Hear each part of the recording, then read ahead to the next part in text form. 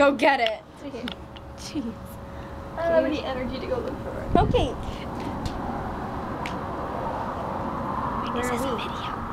Oh, okay, this is, is this where we're- Yay! Train! Wrong train. I told you guys that I only go like that's the only one I'll see. I asked that, Rosie, that's the first question I ask every time I go on BART. Like, I like it's find on it that like, side. I find like a nice family looking stranger and I'm like, is this one going south? Be like, yes, honey, it's going south. It's on okay, that side. thanks. Are we going away. on that train?